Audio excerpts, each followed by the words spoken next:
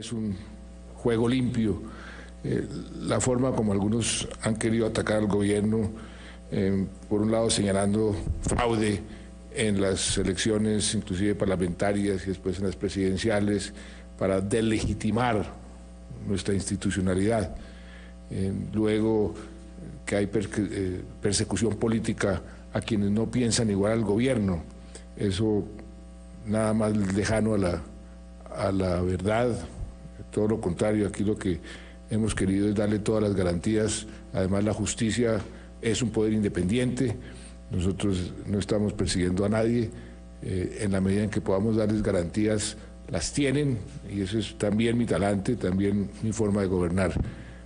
Pero algunos creen que quitándole legitimidad a la institucionalidad es la forma como pueden ganar créditos políticos. Se equivocan y hacen mucho daño.